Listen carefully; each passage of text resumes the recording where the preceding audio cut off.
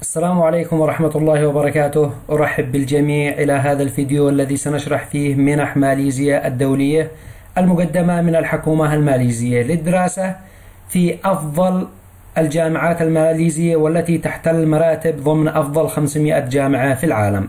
قبل أن نذهب إلى تفاصيل هذه المنح شروط التقديم وكذلك التخصصات المتوفرة والوثائق المطلوبة للتقديم. نرجو منكم دعم القناة إعجاب بالفيديو واشتراك بالقناة حتى نستمر في نشر المنح الدراسية وتوضيح التقديم لها.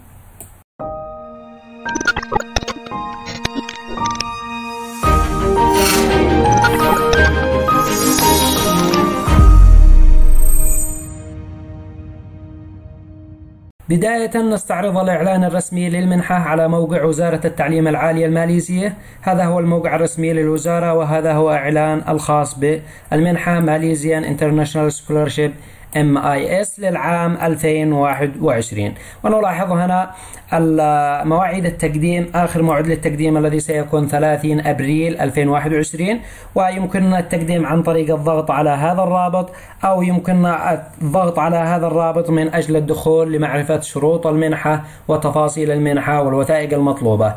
اذا بعد الضغط على الرابط الخاص بالوثائق وكذلك الشروط آه هذه هي الصفحة الخاصة بتفاصيل المنحة. نلاحظ أولا الدول والجنسيات المسموح لها بالتقديم مع آخر موعد للتقديم. كذلك كيفية التقديم وما هي الوثائق المطلوبة للتقديم.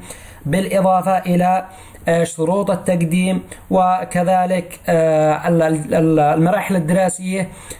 المتاحة في هذه المنحة والجامعات كذلك المتاحة في هذه المنحة وبقية التفاصيل منها تمويل المنحة وغيرها. جميع هذه التفاصيل سنوضحها إن شاء الله بشكل مختصر ومرتب في هذا الفيديو. ننتقل الآن إلى التفاصيل. بالنسبة لتفاصيل هذه المنح أولا الجهة الممولة للمنح هي الحكومة الماليزية ممثلة بوزارة التعليم العالي الماليزية. بالنسبة للمراحل الدراسية المتاحة في هذه المنحة الماجستير والدكتوراه فقط.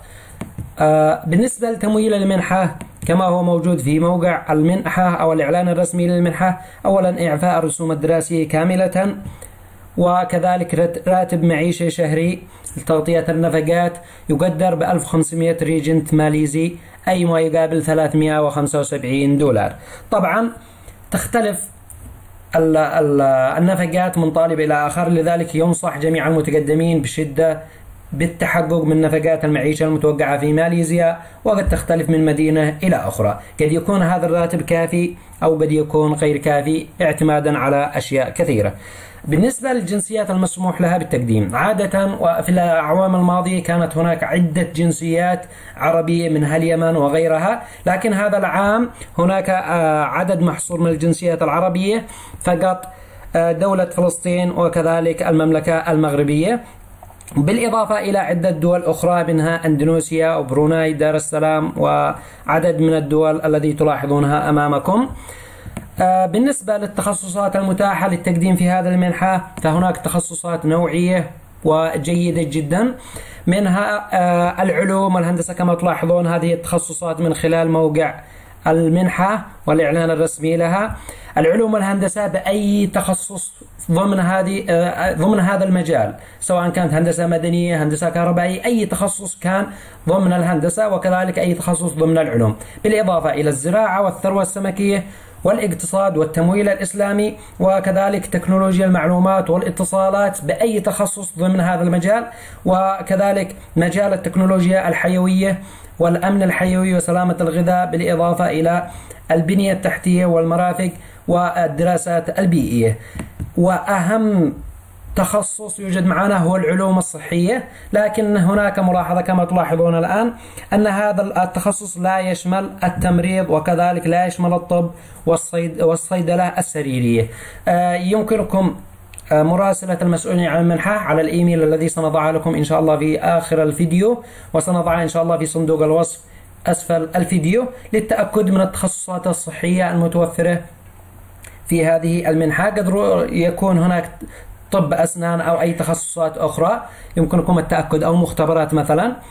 آه ننتقل الآن إلى بقية التفاصيل. طبعا هناك ملاحظة يمكن للمتقدمين اختيار أي دورة أو أي تخصص له صلة ضمن المجالات المذكورة أعلى. آه، طبعا بالنسبة لقائمة الجامعات المتاحة هناك 24 جامعة متاحة للتقديم في هذه المنحة وتعتبر من أفضل الجامعات الماليزية تحتل المراتب الأولى في ماليزيا وتعتبر من ضمن أفضل 500 جامعة في العالم حيث نلاحظ في أحد آه، مواقع تصنيف الجامعات العالمي. نلاحظ مثلا الجامعة الأولى يونيفرستي تكنولوجي ماليزيا تحتل المرتبة الثانية على مستوى ماليزيا وتحتل المرتبة 474 على مستوى العالم. كذلك أغلب الجامعات كما تلاحظون تحتل المراتب 500 أو 509 من آه، ضمن آه، التصنيف العالمي. بالإضافة إلى الجامعة الأولى في ماليزيا يونيفرستي مالايا تحتل المرتبة الأولى على مستوى ماليزيا وكذلك المرتبة 316 على مستوى العالم. إذا الجامعات نوعية وممتازة جدا جدا وتصنيفها عالي وقوي. تعتبر فرصة مميزة جدا. بالنسبة لشروط التقديم في هذه المنحة كما تلاحظون الآن أولا ألا يزيد عمر المتقدم لدراسة الماجستير عن 40 عاما. ثانيا ألا يزيد عمر المتقدم لدراسة الدكتوراه عن 45 عاما. بالإضافة يجب أن يكون المعدل أكثر من 3.5 بالنسبة للتقدير من أربعة أو ما يعادل 87% بالنسبة للتقدير المئوي. أو يكون تقديره جيد جدا في البكالوريوس للمتقدمين للماجستير. هذا ما يخص الماجستير وكذلك ما يخص المتقدمين للدكتوراه يجب أن يكون معدلهم الأكاديمي ومعدلهم التراكمي في الماجستير لا يقل عن 87% أو 3.5 من أربعة. آه كذلك يسمح التقديم لثلاث جامعات فقط من الجامعات الأربعة والعشرين المذكورة سابقا.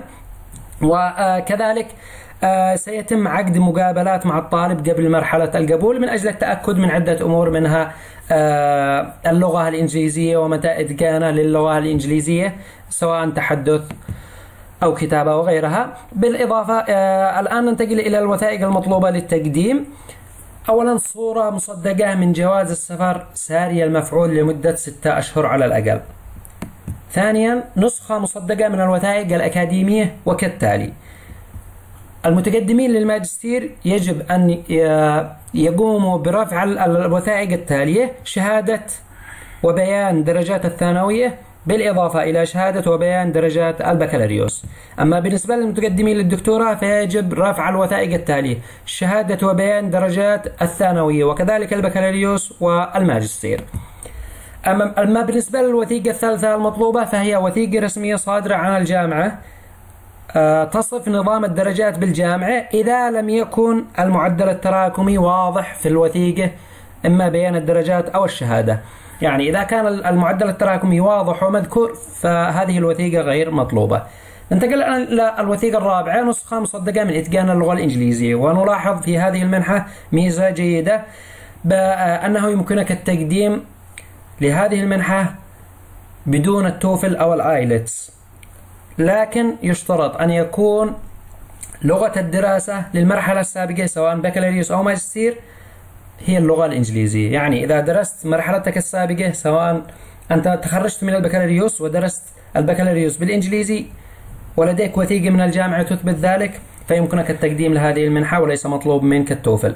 كذلك إذا تخرجت من الماجستير ودرست الماجستير بالإنجليزي ولديك وثيقة تثبت ذلك فيمكنك التقديم لهذه المنحة ولا تحتاج ولا تحتاج آيلتس أو توفل. إذا إذا كان لديك آيلتس بدرجة 6.5 كحد أدنى أو اختبار التوفل عبر الإنترنت iBT وبحد أدنى للدرجة 92 يمكنك التقديم بالإضافة إلى أنه كما تكلمنا يمكن للطلاب التقديم لهذه المنحة إذا كانت لغة التدريس في المرحلة السابقة هي اللغة الإنجليزية ويجب تقديم وثيقة تثبت ذلك وهذا مذكور في موقع المنحة وسنضع لكم رابط الشروط إن شاء الله في صندوق الوصف.